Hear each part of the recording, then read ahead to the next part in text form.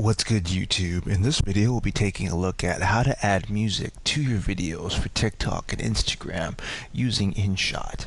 InShot is a great app that you can use to edit and add effects and music to your videos right on your phone. If you like this kind of content or find this kind of content helpful, leave a message down below. Don't forget to subscribe and thanks for watching.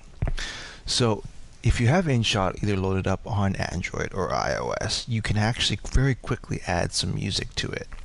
What you want to do is head over to the video tab here, and then you want to select your clips.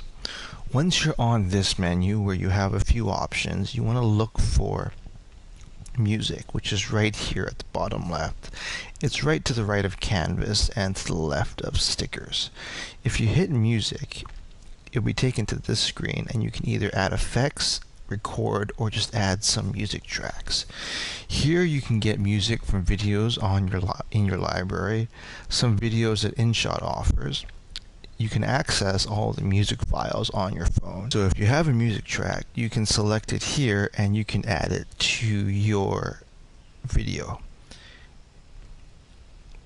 You can edit where the music track is on your timeline using the built-in editor and you can also trim the beginning and end of the track as well using the built-in timeline tool on InShot.